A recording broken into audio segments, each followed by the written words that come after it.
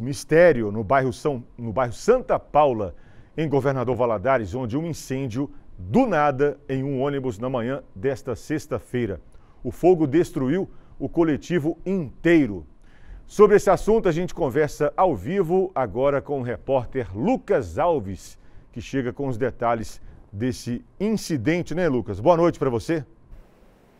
Ei, Saulo, boa noite para você, para toda a nossa audiência no MG Record. Bom, o fogo iniciou do nada. A gente utiliza essa hipérbole do nada, porque só uma investigação para conseguir identificar a causa, o que motivou o incêndio neste veículo.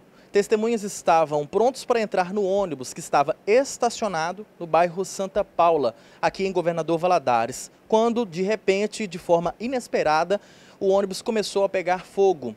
O motorista também não estava no coletivo, pois tinha saído para ir ao banheiro. Ninguém estava no ônibus. Ele pegou fogo. O corpo de bombeiros foi acionado e compareceu pouco tempo depois no local, mas o incêndio já tinha tomado conta de todo o veículo.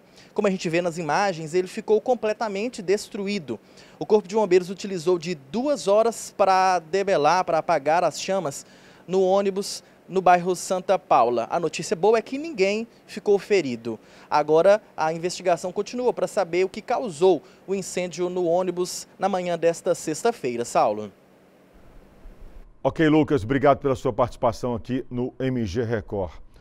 Por meio de nota, a empresa se posicionou, diz que foi surpreendida pelo incêndio e que não houve feridos. O Corpo de Bombeiros e a Polícia Militar chegaram rapidamente ao local e que apura internamente as causas desse incidente.